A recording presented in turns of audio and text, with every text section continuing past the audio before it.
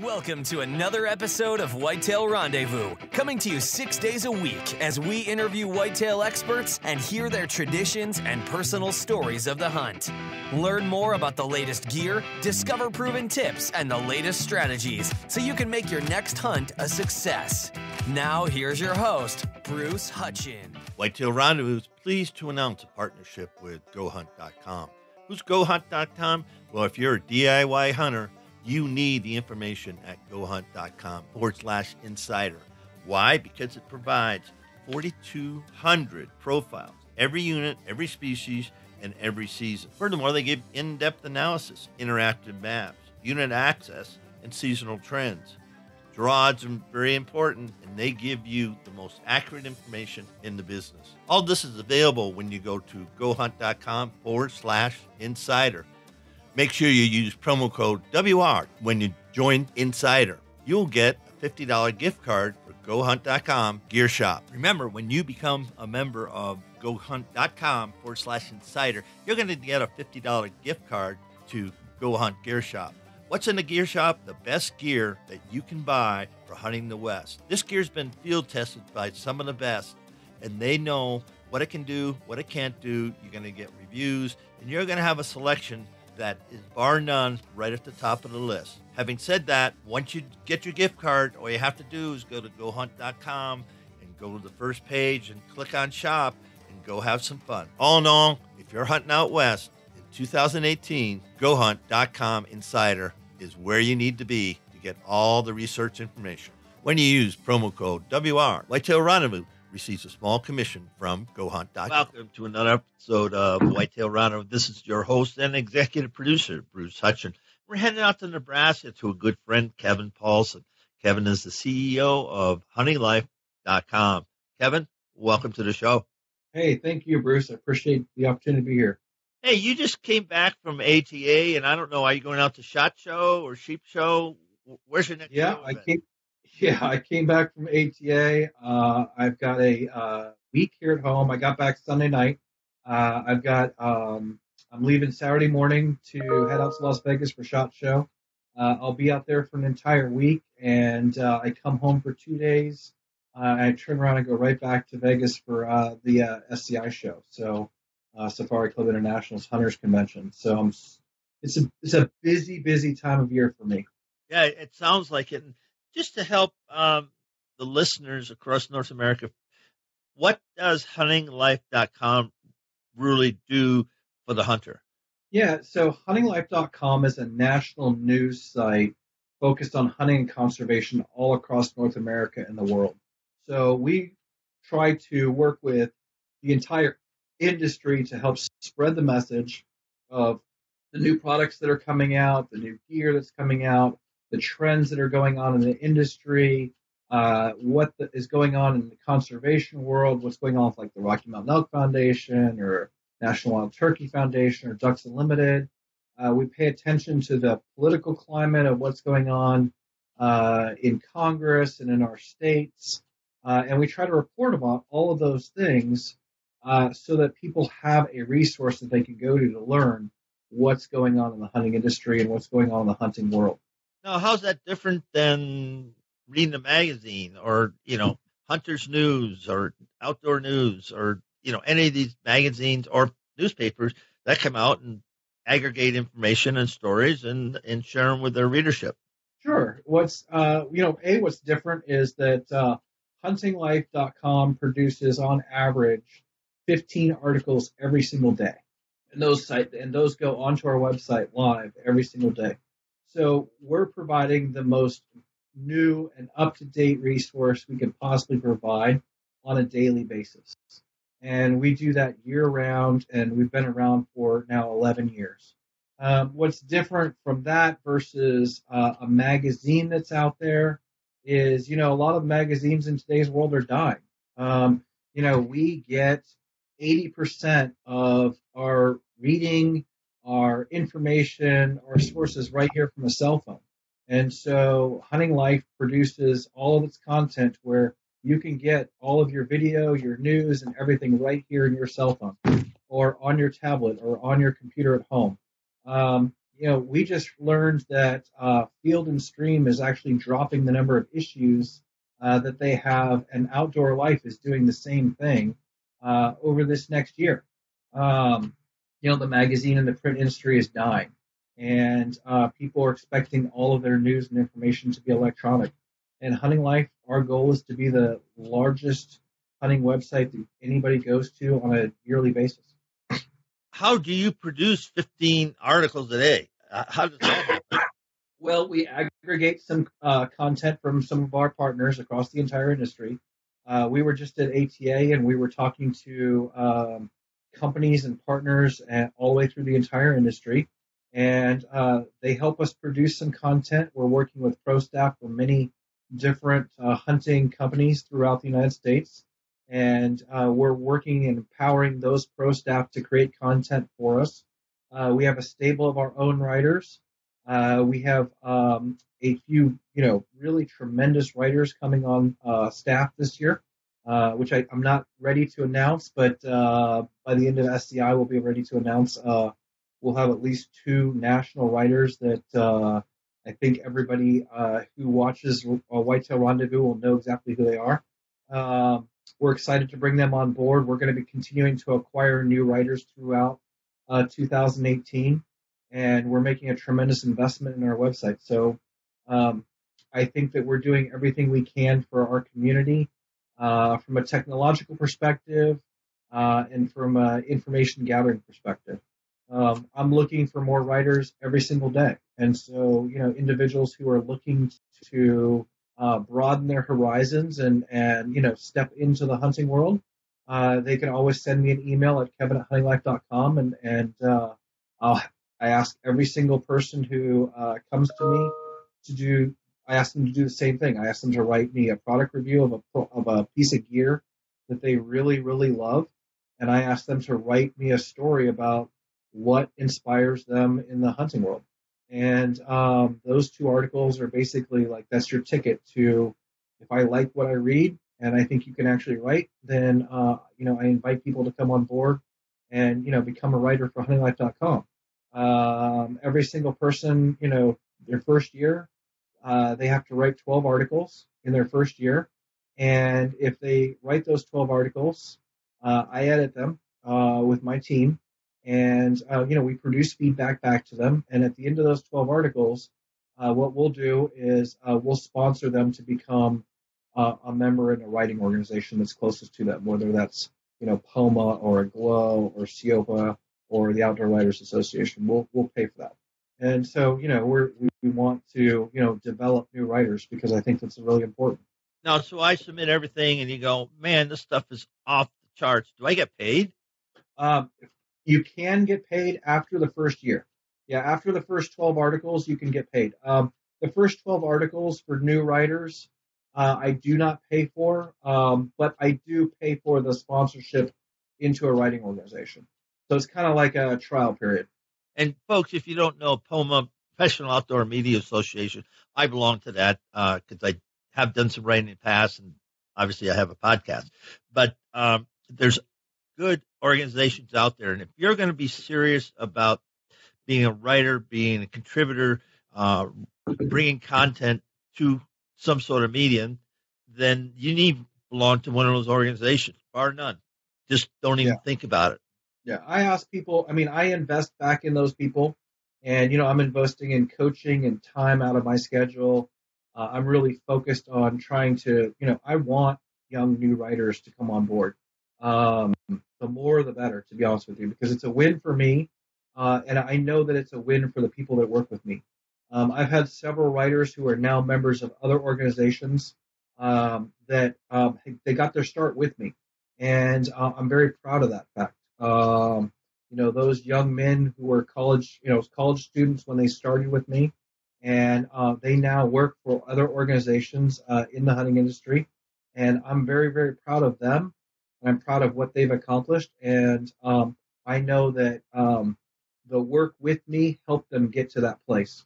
And so I'm super excited about that fact. And, and I believe that, um, I believe that I create a value for, um, you know, those individuals as a writer. And I believe that those individuals create a value for me in writing great content.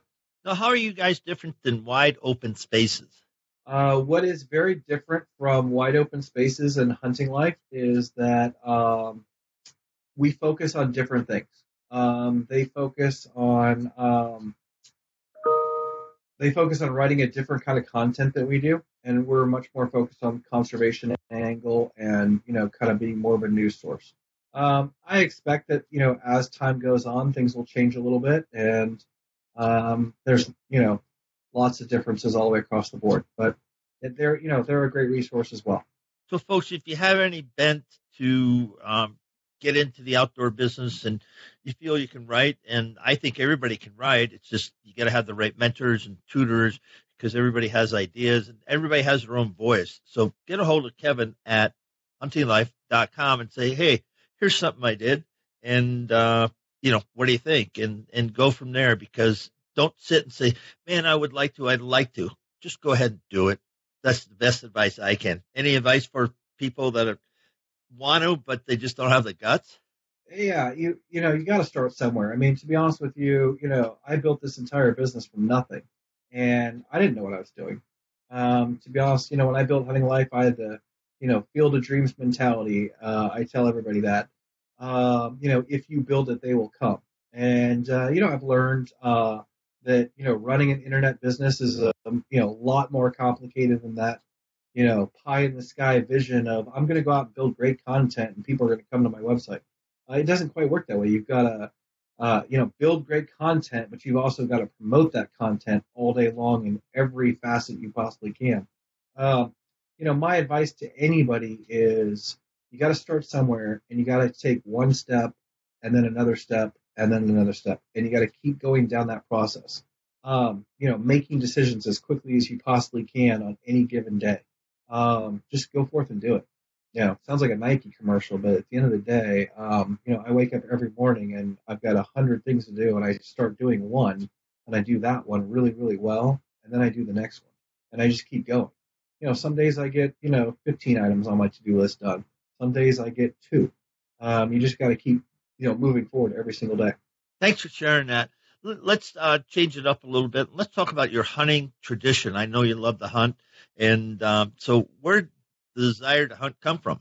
Uh, my desire to uh, hunt really came from my father, and so um, you know when I was five years old, I was in this little town called Lee in California.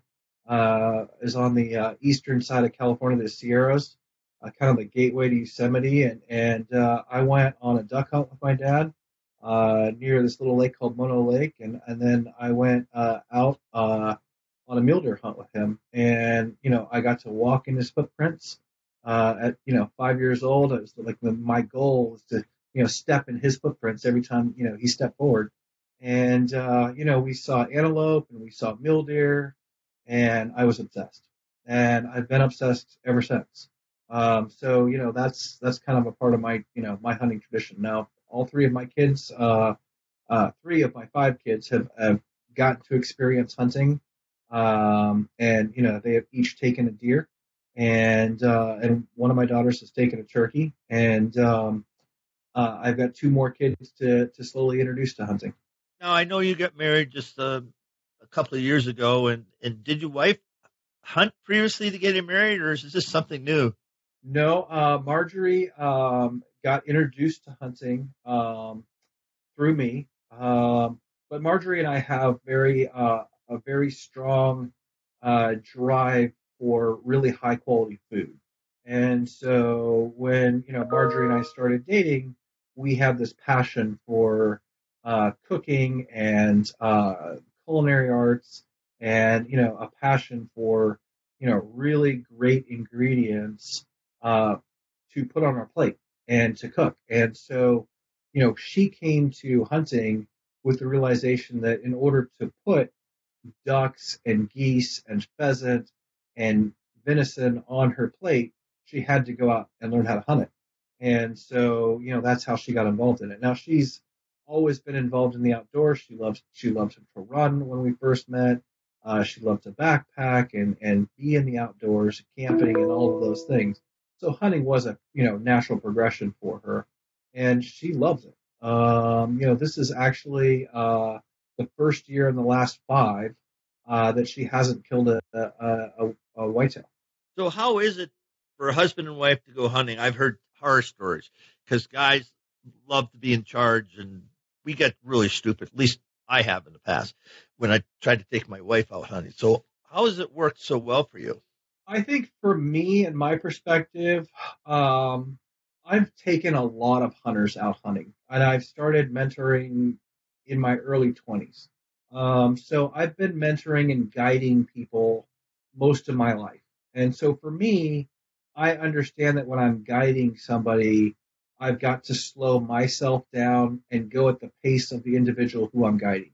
And so for Marjorie and for and this is true for you know taking any wife out hunting or any kid out hunting you have to make it enjoyable for them and you have to understand uh, what it is that they're looking for um, in an experience and so you know for marjorie i know that you know getting out into a place that's you know beautiful country and you know getting to watch the sun come up and getting to experience that and getting to pay attention to you know everything from you know the squirrel climbing up on the tree to you know the birds flying overhead or you know the gobble of a turkey uh, you know off in the distance. Those are all things that you know we pay attention to and are very attuned to um, and i focus on that when we're when i'm with her and so you know that makes it much more enjoyable for her i'm pointing these things out and um, the other thing is, uh, if you take your your wife or your kids out, uh, you know, part of your goal is to make sure that they're comfortable. And so, you know, I made sure that Marjorie had uh, the best gear. Um, you know, I have her outfitted in uh, the Prois women's line of clothing. So she has a set of Prois pants, and she has, um, you know, she has a, a full layering system on, and she has a Prois jacket, and she's warm and comfortable and that makes her experience in the outdoors uh, much more enjoyable for her. Um, a lot of the hunting that Marjorie and I are doing in the area that we're hunting, we're not just sitting in a blind. Uh, we're up and we're moving, and uh, we're doing a lot of spot and stalk. And so I don't know for Marjorie and I that works for us because she really loves to backpack and hike, and so we spend a lot of time on foot hiking, you know, in and around canyons, and it's just it's a tremendous amount of fun. Sounds like you get a good partner there. Say, when you're out uh, chasing mule deer, um, what kind of glass do you use? Um, I use a wide variety of glass because I'm constantly testing uh, new optics on any given hunt. Um, so you know, guys ask me like, "Well, what's your favorite pair of binoculars?" And I, and to be honest with you, the answer changes on any given month. Um, you know, right now, I think I actually have. Uh, yeah, actually, I do have. Um, right this moment, I'm actually using Steiners. Um, and the reason I'm using these is because this is what I've been testing the last month. Uh, these are the Steiner HX 10 by 56 binoculars. Um, they kind of have the eye cups on them. They're a very heavy set of glass. So this is not probably what I would necessarily recommend for you know, quick and dirty spot and stock archery hunts. Uh, but if you're sitting on the edge of a canyon, a wall, and you're glassing long distances for extended periods of time, these this glass is just absolutely fantastic. Um, and I think they're at a price point around a thousand dollars. Um, so not necessarily the most expensive on the market, but not the cheapest. Um, I like binoculars from you know the Vanguard line. Um, the Vortex line is excellent in kind of the lower range of binoculars. Um, you know, mid-range binoculars, the Steiners or the Burris binoculars are fantastic, all the way up to you know the Leica and the Zeiss and the Swarovskis. Um, I will say that I think the binoculars are very, very much a personal preference, and you really need to look at a lot of different binoculars. I have um, stood with three different people and grabbed the most expensive pair of binoculars up off of the counter. And all three of us as individuals saw something different through those binoculars. You know, some binoculars work for some people and some binoculars do not work for some people. And so as an in, as an individual, if your buddies are all saying, you know, you should buy Vortex, if they don't fit to your eyes, if you don't feel great with that pair of binoculars in your hands and your eyes aren't really picking out shapes with crystal clarity, don't buy them. You know, go try a different pair. Um, some people, you know, just need different, you know, different things for different packages, different people. So you're out um, western Nebraska and you do have your favorite glass. How do you use them? How do I use them? As as yeah. far as how I use them to for hunting. So I, I yeah, so for hunting. So I basically I spend um when I pull into the ranch, basically, um, I pick two I have three basic high spots on the ranch that I hunt. Um, that I pull up um, into, and then basically I, I walk up onto these high spots and I pick apart uh, an entire area. And so my goal with a set of optics and a spotting scope uh, is to grid search uh, where the deer are. Uh, if it's first thing in the morning, I'm watching the deer walk off the top of the plateaus and they're dropping into canyons. And I'm basically watching them to figure out where specifically, you know, I know generally where their bedding areas are. And so I'm kind of like watching to figure out which bedding area they're going to go to. And then I'm watching which way the wind is blowing uh, so that I can figure out how to come back and go, you know, come in over top of them, basically. Um, now, if I just pull into to an area mid afternoon and I don't know that area, I don't know, you know, what's on the side of that mountain, basically, uh, I'm basically grid searching um, an entire area. So, you know, I'm going to search up in the high section up here. I'm going to move down a little bit. I'm going to grid search with the binoculars. I'm going to come down a little bit further. I'm going to grid search. I'm going to come down. I'm going to grid search, come down, grid search, and then I just continue to move my way across the mountain. And I basically just do that, you know, in a very, you know, I do it in a very fast way, and then I go back and I any section that I feel like has real potential, I'll go back and break that down even further. No, you know, for mule deer, when mule deer are in CRP or whitetails for that matter, sometimes the only thing you see is a flick of a ear or you know the horns glint off the sun because uh, they're resting. They're they're really not doing anything. Every once in a while, one may get up, but for the most part, you're looking for pieces. How do you find them? Yeah, I'm looking for shapes or movement um, as much as humanly possible, and I'm just looking for cer- certain things that are out of the ordinary. Um, it, over time, you tend to um, you tend to know basically, you know, where um, where you think an animal may or may not be, and you know, it's it's, it's a little bit of intuition. Um, so for me, you know, I'm I'm it's just a little bit like I said, it's a little bit of intuition. I'm always looking for that deer you know that little ear flick uh, because sometimes you'll see that more often than not. Uh, you know, it's one of the reasons I love hunting mule deer. To date, um, are you hunting for meat or are you hunting for bone? Uh, I hunt for both at all times. Um, so the ranch that I hunt currently um, is in an area that uh, is available for me to purchase uh, mule deer doe tags or whitetail doe tags, and um, so I purchased doe tags uh, because the rancher can only afford to feed so many deer on a given year, and he currently has an overpopulation of does on his property. Um, I can only, you know, I can only uh, fit so many in my freezer. Um, so, you know, I fill my freezer basically with doe meat, and then uh, I focus on um, really, really big deer the rest of the year. Um, I do. I passed up this year this year I did not shoot a buck. Uh, I shot mule deer, I shot mule deer does, and I shot a white-tailed doe, and uh, I did not shoot a buck this year at all. Um, and I'm okay with that because um, I'm big or empty. I passed up 150 bucks, whether they, they were whitetail or mule deer bucks. I had both a mule deer buck tag and a whitetail buck tag uh, in Nebraska, and um, I did not shoot either. But I did not shoot a buck at all. Just because they were too small yeah, I just did not see one that was representative of, you know, really what I wanted to shoot. And I did miss one.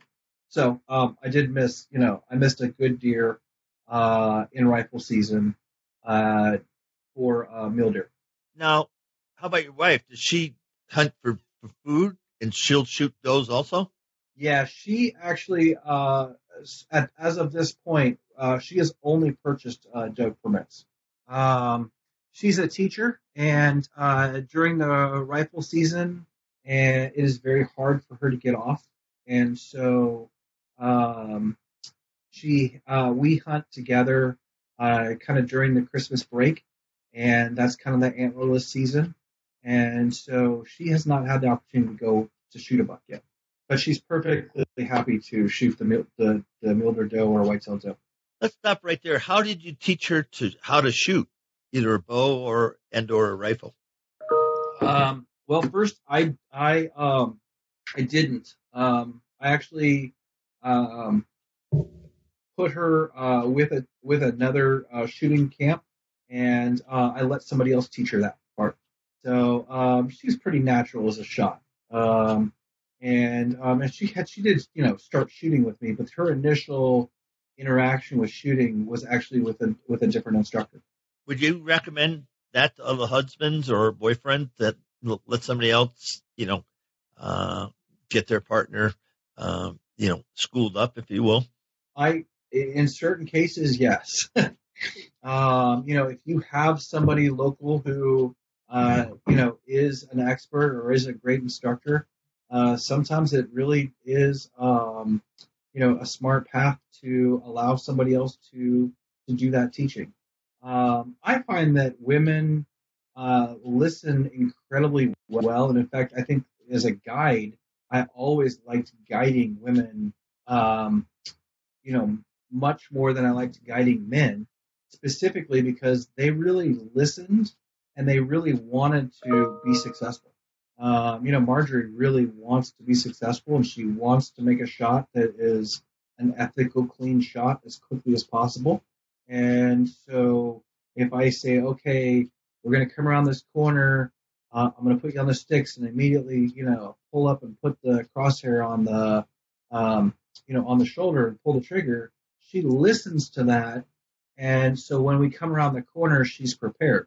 Now, um, with my, with my friends, uh, when we go hunting and I say, you know, here's what I want you to do, they don't always listen. Their their mindset is, well, I'm going to do what I want to do, and it's a lot different than uh, you know my relationship with uh, my wife or or for that matter any other woman that I've ever guided.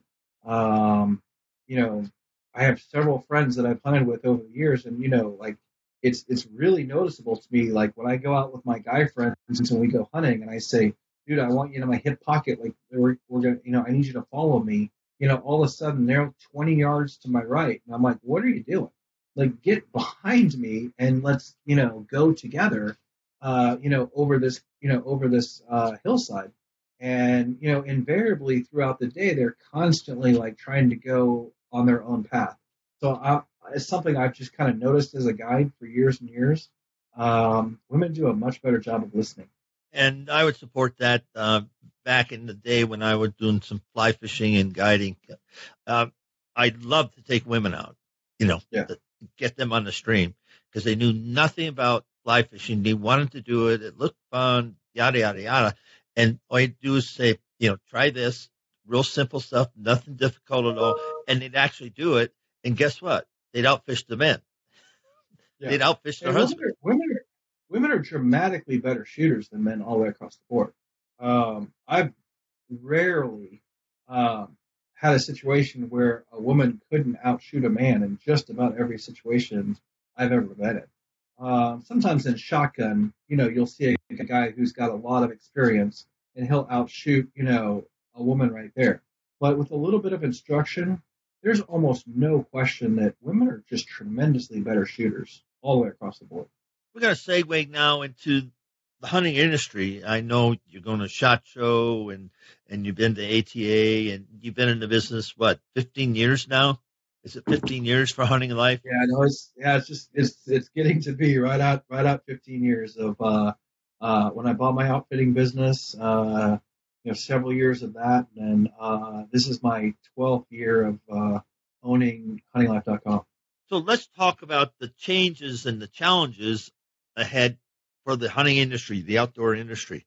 Yeah, I think that um, you know the industry is changing uh, dramatically, and um, you know the world of the world is changing dramatically. You know, we see um, you know the growth of Amazon.com and the growth of the online world, and you know guys can purchase anything they want online, and um, you know I think that's dramatically going to change and affect the outdoor industry. Um, I think that um, you know the local mom and pop sporting goods store that used to be in every little town is no longer there, and um, you know that's kind of sad to me.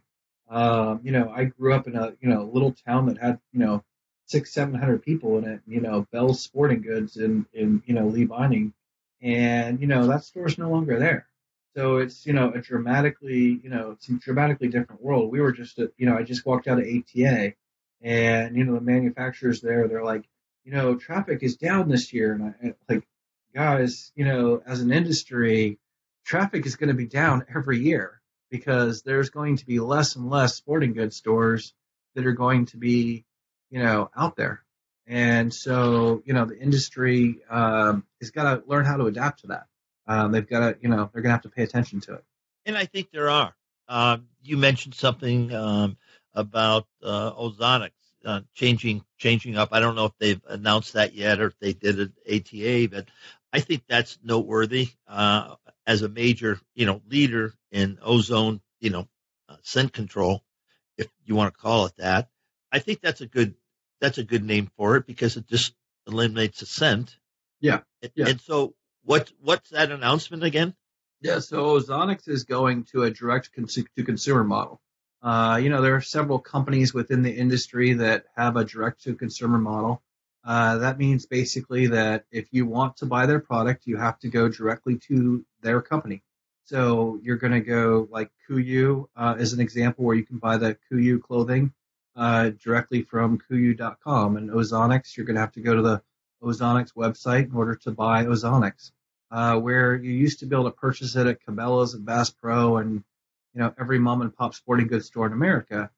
Um, the problem with that is that um, there is uh, a markup to taking a manufactured product and you know putting it into a distributor and the distributor putting it into retail stores across North America and the consumer has to pay for that and so a direct to consumer model um, can really um, you know bring about a, a lower priced product for the consumer and a higher profit margin for the manufacturer and so I think that over the next um, 10 years, you're going to see a lot of companies that are going to consider that process. So Ozonics was not at ATA this year um, because, you know, if you only go to ATA basically to be able to advertise and put your product into an archery store and because it's not a consumer show. And so, you know, they weren't at ATA. And, um, you know, I know that uh, Kuiu does not show up at SHOT Show or they don't show up at ATA and uh, they're at the consumer shows because they're going direct to consumer. And at Prois is is another company that's you know Prois.com. Uh, it's it's women's clothing line. They're another cl- company that does direct to consumer, and they do a very good job of it. So, uh, Kirsty Pike, uh, CEO of Prois, uh, here's a shout out for you. And she changed her marketing plan uh, a few years back. I don't know exactly when she changed it, but she saw this trend coming, and um, you know, this that's a beautiful American story. Uh, you know, lady entrepreneur that grew from nothing, just like you, Kevin. Just started, you know, with an idea and has built, you know, one of the foremost women apparel companies in the outdoors in in the country. Absolutely, yeah. She has a tremendous success story, and um, I've never met uh, a woman who uh, wears her clothing line that is unhappy with the quality and the cut and the feel and the warmth of the gear that they get from that you know from that company. So um, you know she has a tremendous following of people. Uh, you know it's a great family, and uh, you know I you know am super happy to see her having success with her line. And I'm super happy to uh, introduce women to her clothing line because I know that uh, those women are comfortable and they're warm and they're uh, they have enough gear with them uh, to where they can last the entire day hunting with me. So uh, it's a win all the way across the board. It's a great line, and um, you know the direct to consumer model keeps the prices down uh, for those women to purchase that gear. If, if Kirsty had to put her product into Cabela's or Shields or Bass Pro, uh, some of those clothing items would cost twice as much, and that's just not um, effective. Yep. So again, shout out for Prois uh, Hunting Apparel, Kirsty Pike, and just reach out to them on any sort of social media and uh, try it out, ladies, because you will not be disappointed, guaranteed. Absolutely, absolutely. So what else so has happened that, in the hunting industry? Uh, I think we're continuing to see some. Uh, you know, we've got a downturn right now in kind of like the shooting world because it's you know we're we've got a Republican president, and so we've seen. Uh, you know, there's not a, there's not anybody, there's no fear in the industry. So, you know, I think that the uh, overall, um, you know, sales were down in, in 2017 from, you know, from archery to hunting to, you know, the gun world. I mean, sales I think were down all across the entire industry. Um, but that being said, I, there's tremendous amounts of innovation this year. Uh, we've seen some great new products come into the market. Um, Garmin had a brand new rangefinder uh, that uh, was set up to where basically once you zeroed it in, uh, it had a it had a red dot sight for a bow, and uh, no matter what you were aimed at, um, it uh, would adjust your sight for you. Uh, it was a laser rangefinder built into it, and you know we'll be we'll you know I don't know how many states will legalize that, um, but it's you know an innovative product. Uh, we saw some great new uh, arrows and nocks and things like that at ATA. Uh, there were several new bows from the new Bowtech Realm to the uh, Mathews Triax and the G5 bow. Uh, there's some great new. Uh, Hoyt has a new bow this year. You know, everybody has a new bow this year, and there's some great, you know, technology out there. Ravin is continuing to be the biggest success story in the entire archery industry with their you know crossbows. Uh, they launched three new models this year, including a full scale uh, what they call a sniper package uh, that was just absolutely fantastic with a you know a higher level scope and a, a very impressive setup. Um, uh, the uh, probably the product of the uh, show that everybody was kind of talking about at ATA was the new Primos blind uh, that you could see through And In fact, if you go to the uh, facebook.com forward slash hunting life, there is a video of me sitting in the see-through blind from Primos. It's their new double bull see-through blind, and you could see through the walls, uh, and it was like literally like looking right through a window. Uh, it was unbelievable, and you, we took the camera and I shoved it through the window, and I had my partner film back into the blind, and you could not see me in the in the blind. Um, I'm really excited to get that out for testing uh, because I really want to see how that works at sunset and at sun sunset and sunrise. Uh, when it you know you get that orange sun right there in the you know does it really like does it change how the how you can see out that window?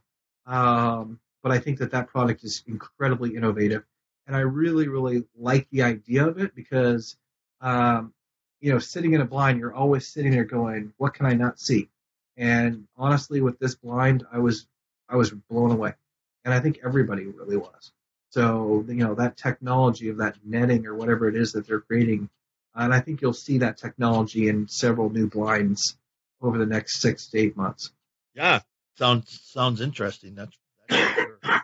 so here we are. We got you know we got a Republican president, so people have the guns that they need. They're not in fear of that. We've got some changes from, um, you know, the retail uh, model to, you know, the direct model. What do you think the people like Realtree or Lacrosse Boots or Sitka or, you know, the name some of the, the giants, you know, in, in our industry that sell, you know, that sell through retailers. That, that's how they sell their product. What are they going to do? Well, I think that they're going to continue to have success. I mean, I don't think people are walking away from retailers uh, per se at this point. I think that um, my personal opinion is I think that Amazon's going to continue to uh, erode away at um, you know, they're going to continue to take um, business away from, you know, the outdoor industry as a whole. Uh, you know, the mom and pop sporting good dealers.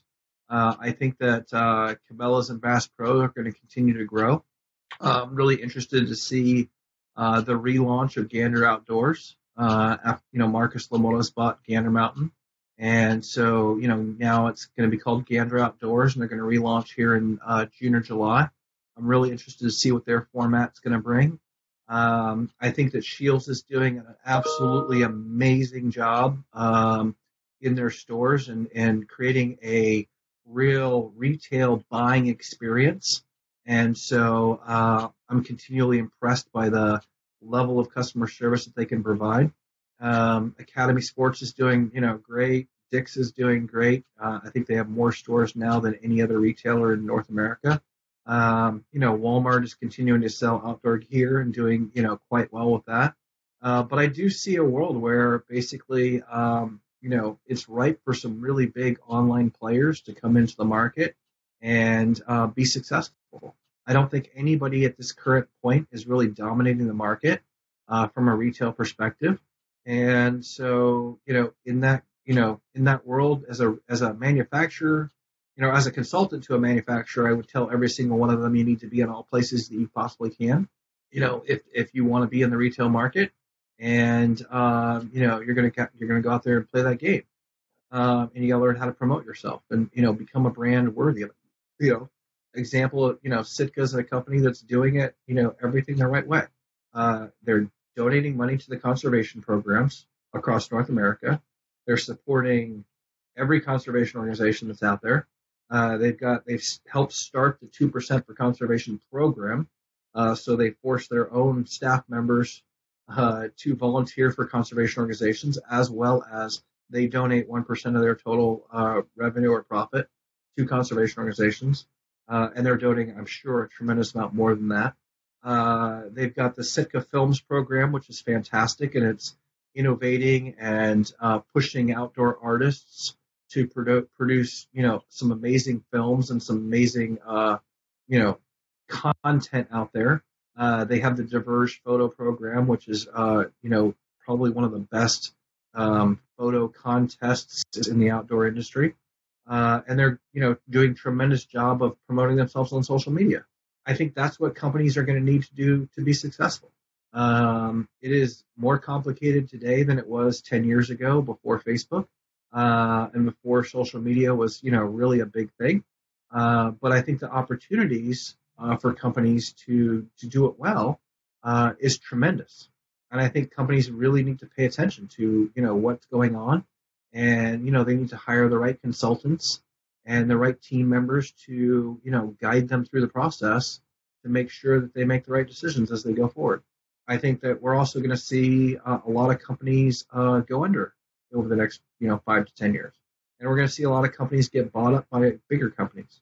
So, you know, I think overall the the industry is changing. I never say that it's a bad thing though.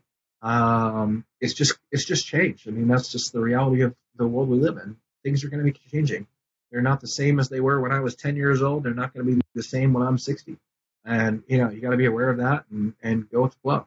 That's for sure. And, and listeners, uh, Kevin just gave you a bunch of reasons if you want to get in this industry where you should think about and he, he told you about Sitka Gear is a perfect example of that. So study them.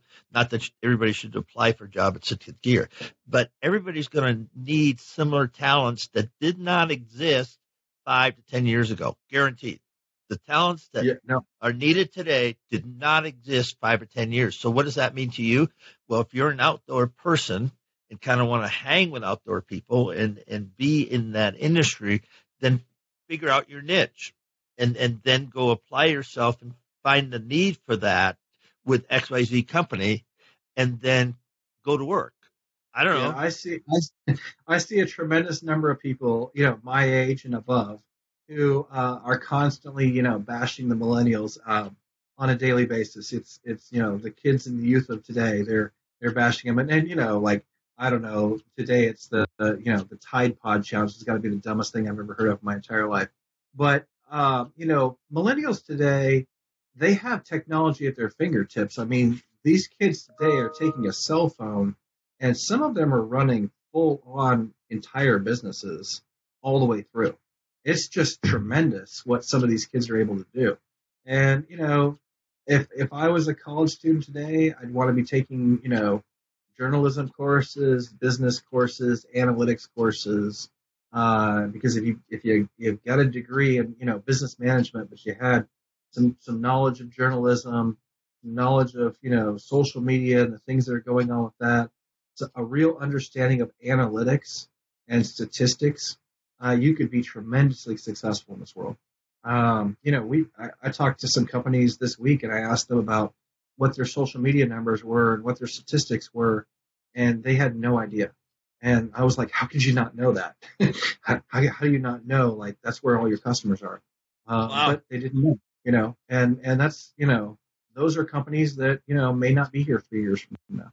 But the companies that do understand it and that do get it, they're going to continue to dominate. I don't think anybody's dominating right now, though. I really don't. Yeah. Especially from the retail side. Know, and I, I'm, I'm trying to think that I get a lot of gear and I don't buy any gear in the store I haven't yeah. for years. That was before I, you know, had my podcast and and and, and so forth and so on. Uh, just I just didn't. You know, I used eBay quite a bit, and then I used my connections, you know, with Vortex or Excalibur or whomever, you know, uh, you know, to get to get my stuff. Plus, over the years, I've collected a lot of stuff. my wife says yeah. you don't have room in your closet. yeah, I'm kind of a unique situation because I, you know, I don't buy a lot of gear, um, but my role is to test gear on a daily basis. So gear is arriving here all the time. Um, it's li- like literally there are boxes laying over here that are just not even opened yet. Um, I mean, I have a Otto Wilde grill that's sitting here that hasn't even been installed yet. Um, you know, we've got brand new pairs of boots from Lowa and Crispi to test this week. Uh, I'm going to be wearing, uh, well, I'll be wearing uh, Crispi boots at Shot Show all week long on the show floor, uh, or you know, or Lowas. I'll probably rotate back and forth between the two to kind of test them against each other. Because uh, I walk 14 miles a day, you know, each day at Shot Show, so I just know from you know experience that I'm going to, you know, I'm going to burn up my feet and I want to feel, think, well, that's a great place to test boots. Um, you know, I, uh, I still do buy some gear, uh, from my local retailers. Uh, I have a Cabela's and a Bass Pro and a Shields and a Dick's all within 55 miles of my house. Uh, the Bass Pro being the furthest. I think Cabela's is about 45 miles in La Vista, which is Omaha. Um, I have a Shields right here in Lincoln, and they're actually building one that's like twice as big. Here, we just got a brand new Dick's. Um, and um, I still buy things at Shields. I still buy uh, I buy all my ammo from local stores by all means. Um, I, I do you know FFL transfers with a local gun dealer. Um, so you know I'm in and out of outdoor stores on a pretty regular basis. Um, I think that the important things for stores to really focus on is making sure that the the staff that they put in those stores are highly educated and they make it, you know, an enjoyable, you know, uh, experience. I was just in an outdoor retailer uh, outside of Indianapolis uh, when we were there for ATA, and, and I got there a day earlier, and we went into a, bunch of retailers, and um, you know, I was actually looking for, you know, a specific pair of shoes uh, to wear for ATA, and I just didn't, I didn't have, I didn't, forgot to bring a pair of boots with me, and uh, I just needed a replacement pair of shoes. Uh, so we went to um, went to Duluth Trading Company, and um, that's where I ended up buying the the pair of shoes that I wanted was from Duluth, and and they were great, and their customer service was literally over the top. It was the best experience in a retail store I've had in years. Um, they had a lot of staff around the place. Uh, I think there were five or six people on the floor that could help me. It's not a tremendously large store, uh, but it's very well laid out. And in each section, they had individuals that could help you. Uh, they asked, you know, I was able to ask each person questions. I think I talked to five different staff members while I was there in the store. Every one of them was polite and enjoyable to be around. The store was clean. It was just a great experience. I went into another large retailer. Um, well, we went into two other large retailers there. One of them was just, you know, average. I walked in, it was fine. You know, the staff was there if I had a question, but it wasn't, you know, overly, um, it wasn't overly great or it wasn't overly bad. Uh, but we walked into another retailer and um, their customer service was miserable. And you could tell, like, I walked up to uh, a wall of hunting packs and it was jumbled and disorganized and horrible.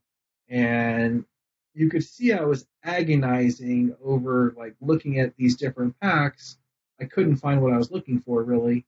And uh, three different sales associates walked right by me and never, not a single one asked me if I was interested in, in getting any help.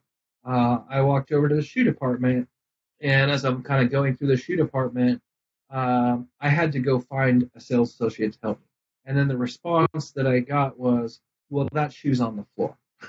It wasn't, well, let me take you to that location and help you. And so when you have a bad buying experience like that, it makes it hard to go back into one of those, you know, back into that same store.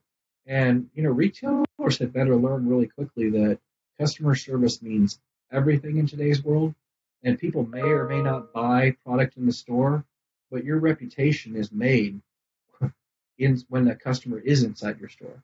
So I don't know. I like I said, I'm not holding this particular retail store, you know, hostage. Um, I'm not even going to mention them because it's it's it's not um, it wouldn't necessarily be fair. It may have just been a bad day at that particular store. Uh, but I do know that I just I did not have a great experience, and you know, too many times of me not having a great experience in a in a given store, I won't go back. And I think that's true of most consumers today there's no question. I don't care if you're buying a car, um, having a hamburger down down the street, going to a bank. It, it doesn't matter. It, it's customer service that we expect these days because we're paying yeah. a lot of money for what we're spending, and you know, just give me a little help and, and make it make it a positive experience. I, I, that's the word I like to use when I'm talking to my grandson. He's working in a restaurant, first time, first job I said, just make it a good experience for whoever you come in contact with, because everybody has a bad day, either staff or, or, or client. Just smile at them. Say, how can I help you? You know, absolutely. You know, and and it, it just it goes such a long way. Well, Kevin, this has been interesting. We've been around the block. We've, we've hunted some mule deer. We've talked about um, uh, ATA. We talked about huntinglife.com. And why don't you one more time tell people how they can find you uh, on the web? Yeah, you can find us um, at huntinglife.com, of course. Uh, we have huntinglife.com and huntinginsider.com. Those are both of our websites. Uh, we have a live show that goes live once a week uh, at gravy.live forward slash show forward slash hunting life. Uh, you can find us on Twitter, Facebook, Instagram, Snapchat, uh, Google Plus. Uh, search at Hunting Life and uh, we're pretty much across all platforms uh, with you know at Hunting Life. So uh, we have a fan page that's got about 265,000 people, and we encourage every single person to go to our Facebook fan page and submit their picture to us, and we'll share it up to the entire world uh, with your you know your hunting you know your hunting trophy photo. And, and I don't care, like I said, whether it's a big deer or it's a forked horn or it's a doe, uh, we'll share it because um, we care about all hunters. Um, you shoot a squirrel, you got a great picture of it, send it to us. Uh, we want it up. Uh, Twitter is kind of our news feed. We really focus on uh, promoting the stories that are on our website, and you know we share out as many you know news articles as we possibly can that I feel that uh, you know hunters are going to want to pay attention to. Uh, Instagram is something we're kind of new to, and we're kind of you know really trying to uh, again share those stories. And we're you know we're slowly learning about Instagram and what the best way to reach hunters is with that platform. Well, on behalf of thousands of listeners across North America, Kevin Paulson, huntinglife.com. It's just been a pleasure, and I can't wait till you know we we connect again, and and we can uh, I can buy you a beer. Well, hope hopefully this fall uh, we'll be uh, get, we'll get a chance to go hunt together. Yeah, oh, I look forward to that. So, Kevin, thank you again. You got it, man. On the next episode, we're heading down south and we're going to connect with Wes of Portland Outdoors. Who's Portland Outdoors was a group of three guys that decided they loved the outdoors so much they wanted to get into the business and they did it big time. They've got a product called Top Secret Deer Sense. It's unique because it's oxygen free from collection to the bottle. Scent defense, hey, use this every time you go out. And we talked, uh, we're talking about on the show about uh, putting on your boots and uh, it's some interesting uh, thoughts there. We got a natural, they have a natural uh, bug repellent. And uh, fourth, they have a fog zero. So anytime you go from different temperatures, things change.